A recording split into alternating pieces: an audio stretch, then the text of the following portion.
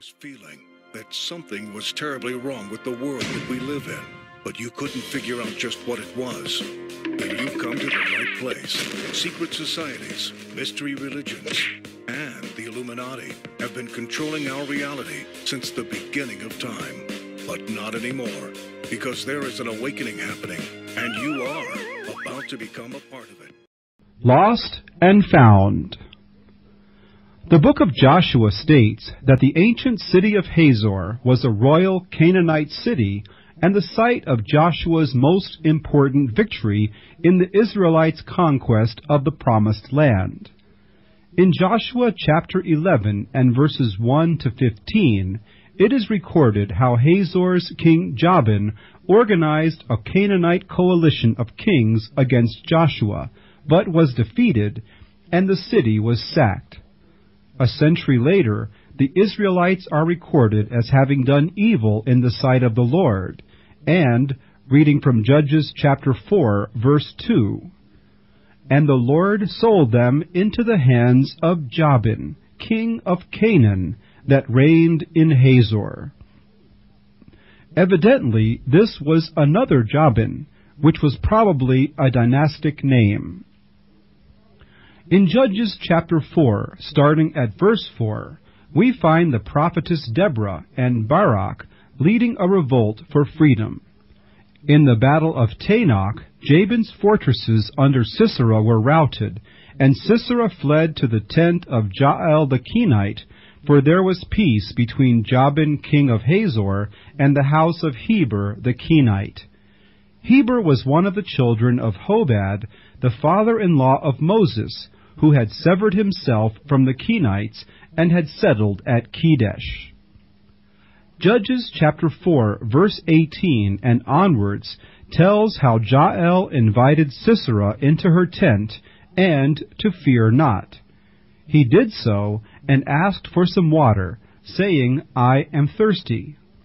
Jael gave him some milk and covered him with a mantle. As soon as he sank exhausted into sleep, his very last sleep, Jael took an iron tent pin in one hand and a heavy mallet in the other, and with a single blow pierced the temples of the sleeping warrior. So died Sisera. Hazor is again mentioned in the first book of Kings, chapter 9, verse 15, as one of the Canaanite cities rebuilt as a royal administrative center by Solomon.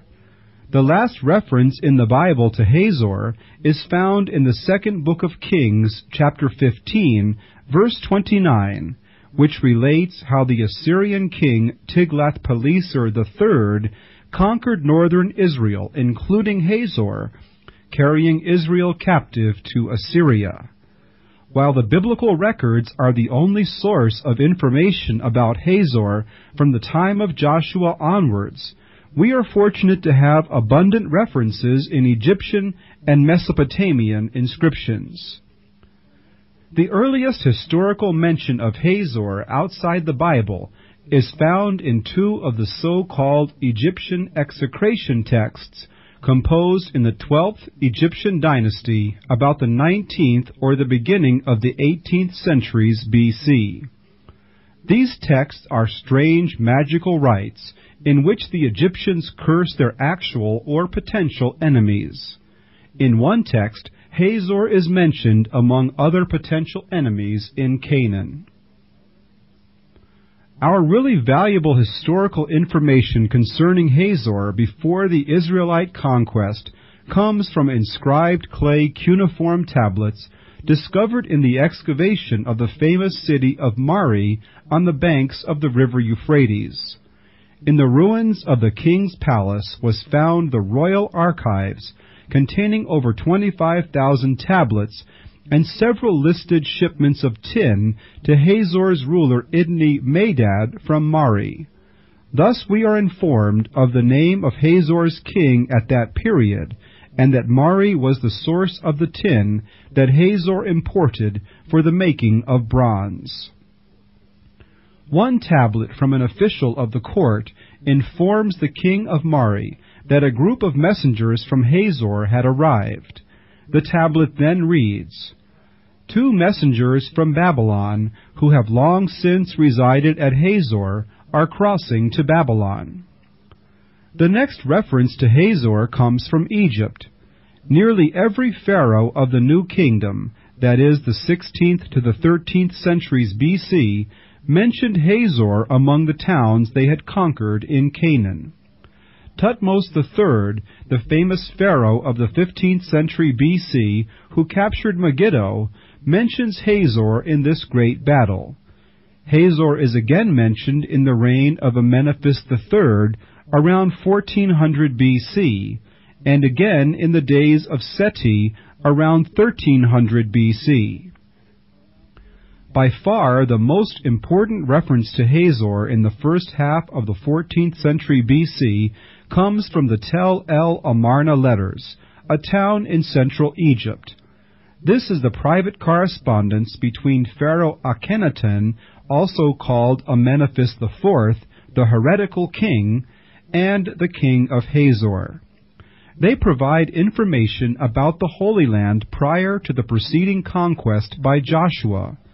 Most of the tablets are asking for help against foreign armies invading their lands they name the Habiru and the Sagas, which would have been the Hebrews under Joshua. In one letter, the king of Hazor informs the Pharaoh that he is safeguarding the cities of the Pharaoh until the Pharaoh arrives. But help never came at that time, and it appears that complete chaos reigned in Canaan.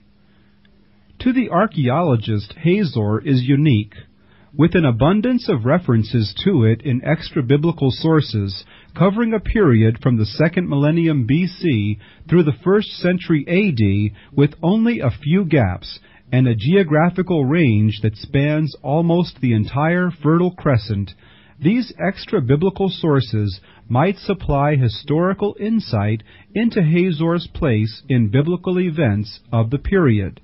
But where was Hazor? The historian Josephus gives us one clue.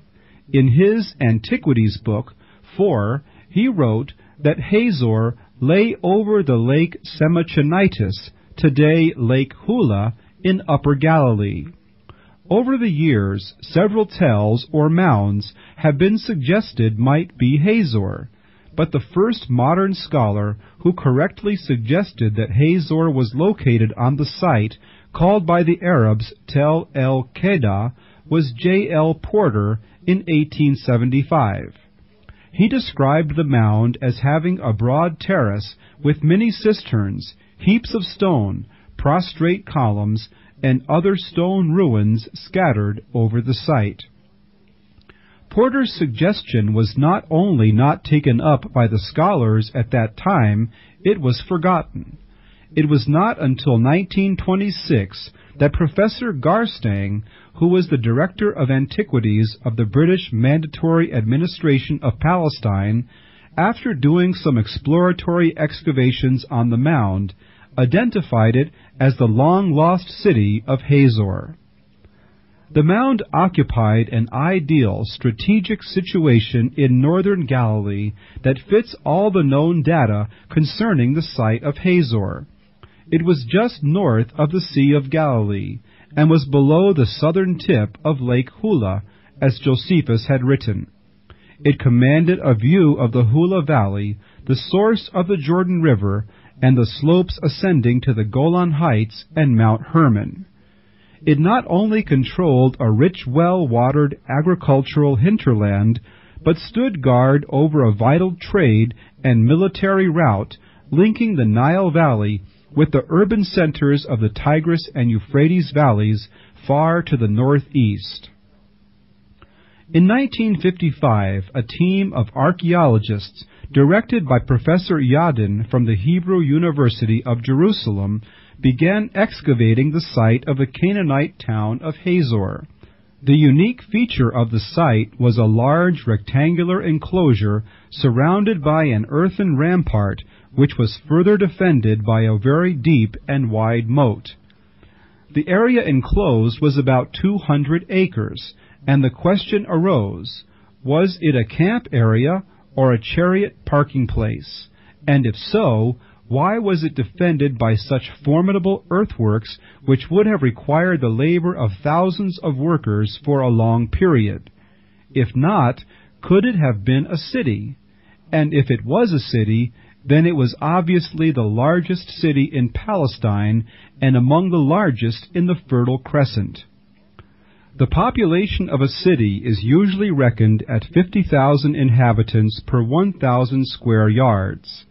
This would give an estimate that the enclosure could hold between 30,000 and 40,000 people, making it an enormous city. By 1958, Yadin's workers had uncovered evidence of nearly continuous occupation of Hazor from 3000 BC to 350 BC. That would be from the early Bronze Age to the Persian period. The most spectacular finds came from the Middle and later Bronze Age from 2000 BC to 1200 BC. These included the Hyksos, Amarna, and post-Amarna periods, the last one showing evidence of sudden, violent destruction, undoubtedly by the Israelite conquest of Palestine. It was also ascertained that the huge earthen rampart did in fact surround a vast city, not one, but two cities, an upper and a lower city. Although Yadin's excavations covered only a tiny portion of the enormous mound, he uncovered architecture and other artifacts from the later periods of Hazor's history, which would have been during the reigns of the Israelite kings of the 10th and through the 8th centuries BC. He also discovered the principal Canaanite palace, but failed to find the royal archives that would have included a record of events in Canaan immediately preceding the arrival of the Israelites. Another expedition to Hazor in 1990, sponsored by the Hebrew University in Jerusalem, in conjunction with Madrid University and the Israel Exploration Society, reopened the mound. The main objective was to find the royal archives that Yadin failed to locate. If found, it would have provided texts about Hazor's economy, politics, and foreign relations that would have provided information about the history and culture of Hazor that scholars can today only roughly reconstruct from pottery and other artifacts. Archives are a standard feature of palaces in the ancient Near East, and in time the one at Hazor is expected to be found. Cuneiform tablets have been uncovered, scattered over the surface, and buried under the destruction debris. Because some are datable by language and style to the 18th century BC, that is, the Middle Bronze Age, and others to the 14th century, the Late Bronze Age. It is believed that there may be two separate archives buried in the rubble at Hazor. The palace was found to form the heart of the upper city of Hazor. It was built to last. The massive walls of the core average nine feet in width, and the eastern facade is almost fifteen feet thick. Exceptionally solid stone foundations, made of huge limestone blocks, support the walls. It seemed that most of the residents lived in the lower city, but no stairway was found to enable the Hazorites living in the lower city to visit the palace or other administration buildings located on the Acropolis. However, the 1990 expedition to Hazor found the grand stairway connecting the two cities. It had been built over a large drainage system which led off rainwater from the city. Later, when digging deeper, a second set of stairs was excavated that had been constructed in an earlier period of Hazor's history. There is unmistakable evidence that the palace and the entire city of the late 14th or early 13th century BC was destroyed by fire. The conflagration not only demolished all the main structures of the city, but buried them in a three foot layer of blackened ruins and ash. The heat from the fire was so intense in the palace, whose floors appear to have been of wood, the mud bricks of its walls were vitrified into glass, its basalt slabs cracked, and clay vessels in the palace melted. Adding to the intensity of the heat was the large quantity of oil contained in huge storage jars throughout the palace, creating an inferno with temperatures estimated to be over 2,300 degrees Fahrenheit. Within the confines of the palace, partly protected by the falling walls, were found various works of art, figurines, bronze swords, bronze armor scales, and a large basalt statue of a Canaanite god, its surviving portion measured more than four feet from neck to feet.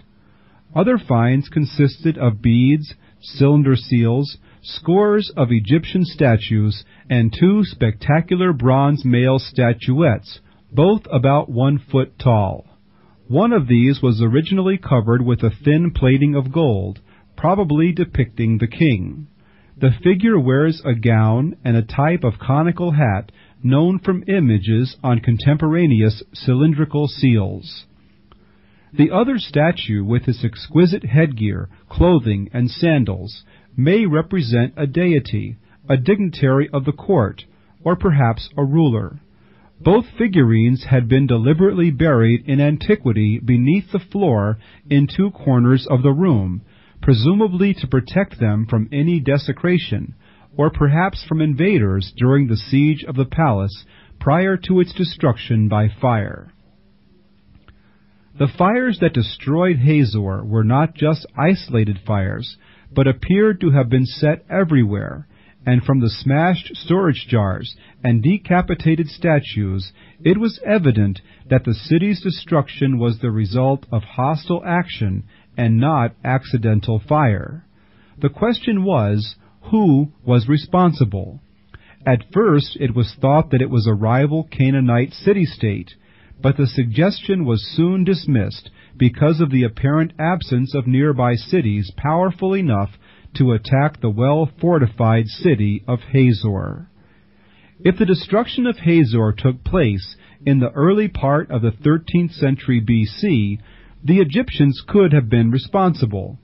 Pharaoh Seti had an inscription made describing his military campaign against Canaan around 1300 BC and claims to have destroyed Hazor. Another Egyptian, Ramses II, could have conquered the city on his way northward to invade Syria before the Battle of Kadesh in 1275 BC, or on his return to Egypt afterwards. However, since both were Egyptians, it is unlikely that they would have intentionally mutilated statues of Egyptian kings. As would be expected in a city as large as Hazor, hundreds of homes, temples, workshops, and city stores were uncovered in the excavations of each stratum or period of occupation. Starting at the most recent ruins, the Persians, the Arabs, the city rebuilt by Solomon, the city destroyed by the Assyrian king Tiglath-Pileser III, the Israelite period, and finally the pre-Israelite period of Canaanite Hazor, ancient Hazor, the largest and most extensive city, is not equaled by any of the succeeding occupations of the site. In the removal of the accumulation of the debris and the floors of one period, the archaeologists discovered that many of the walls of the lower and earlier stratum were tilted as if shaken by a very strong earth tremor. Many of the floors of the homes were covered by fragments of the ceiling that had fallen on them. Identification of the pottery found in the debris of the homes as being 8th century BC enabled the biblical archaeologists to date the earthquake as the one mentioned in the opening lines of the book of Amos, which reads, the words of Amos, who was among the herdsmen of Tekoa, which he saw concerning Israel in the days of Uzziah, the king of Judah, and in the days of Jeroboam, the son of Joash, king of Israel, two years before the earthquake. This earthquake must have been a catastrophe that left its mark upon the entire period, because it was used by Amos to reckon the years since Jeroboam II reigned in Israel between 789 and 748 BC, and was basically contemporary to that of Uzziah, king of Judah, who reigned between 785 and 733 BC, it enabled the archaeologists to date the destruction of the stratum to within a few years earlier than the one above. Judging by the standard of its buildings, during the time of Jeroboam II, the city of Hazor enjoyed an era of prosperity, as did the whole of Israel during the long reign of this great king.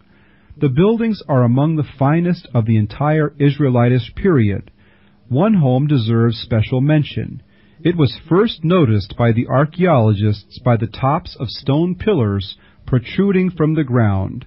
These were soon found to be tilted as a result of the earthquake previously mentioned. When excavated, the house itself was found to consist of a large court with a series of rooms on two sides. The eastern part of the court was covered by a roof supported by six well-dressed square stone pillars, three of which were still found in situ. The entrance to the house was from the south. Through its court where one proceeded into the rooms, two large ones in the north and three smaller ones in the west. Of particular interest was a small room on the western side, which had no entrance, but yielded an abundance of vessels, including many storage jars. It must have been a storehouse, and access to it may have been from a higher level not preserved. A house with a corner court as found here, is typical of many Israelite residential structures and is known as a cornered court pillared house. Its plan and location, right in the heart of the city, would indicate the home of one of the wealthier citizens or an important official. With pillars and walls found askance, and the floors littered with hundreds of pieces of ceiling plaster, it was self-evident it was destroyed by a major earthquake. There was evidence that the residents had just eaten their last supper before the quake, which meal consisted among other things of olives, as indicated by the many olive stones found on the floor. An archaeological team digging in room number 6225 in an adjoining court the number 6225 gives a little indication of the number of rooms found in this stratum, came across a little clay mask, quite intact. Having just uncovered a double-walled platform, believed to have been a cultic altar, they thought they had found another temple. However, some additional digging uncovered a pair of potter's wheels, upper and lower, made of basalt, suggesting it was a potter's workshop. This was later confirmed by the finding of additional wheels and fragments of much worn shards, used in rubbing and finishing the surfaces of the earthenware. There were also adjoining rooms of pottery. Later in the general vicinity were found additional clay masks, and there was much speculation as to their purpose. They had first been made as a bowl, then the eye holes were cut out, the long eyebrows joined to the upper end of a straight, slender nose which lacked any nostrils. The mouth was then given shape and the ears molded. Two holes were perforated at the upper end, and two more on each side, one above and one below the ear. These were obviously for threading a string to attach the mask to the head of the wearer or to another object. The masks were rather small, too small to be worn by an adult, but they could have been attached to a deceased infant or served some other function in the cult of the temple. One major objective is to locate the water supply of a city. It is the lifeline, so to speak, of a city, especially in times of siege.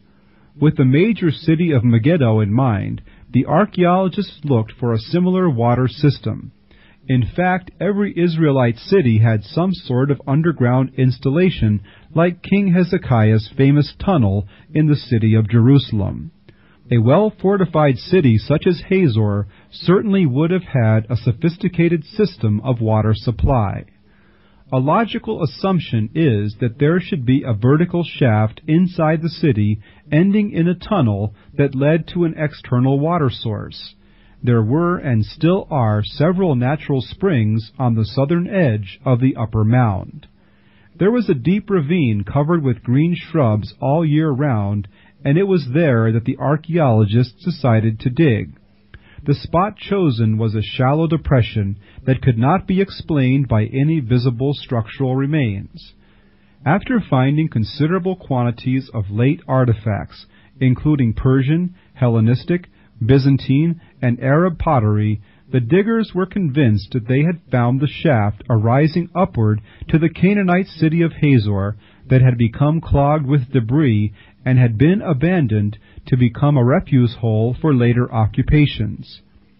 Digging by hand would have taken years to excavate the area, so a huge crane with two iron claws was brought in and work progressed quickly. After several weeks' work, a shaft began to show through at various sides of the dig, and even more importantly, broad steps were exposed that had been cut out of the side for easy descent. As they continued digging, the shaft became too narrow to allow for stairs. Before giving up finding the water system, a small tunnel that seemed not to lead southward where the springs were, but westward, was then investigated.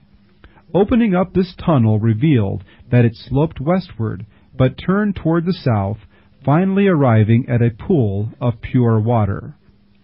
It appeared that the original engineers knew, or at least suspected, that the water table which fed the springs outside the city also existed within the city walls, and was even better protected than the one at Megiddo, which was outside the city and subject to discovery by an enemy force coming against the city.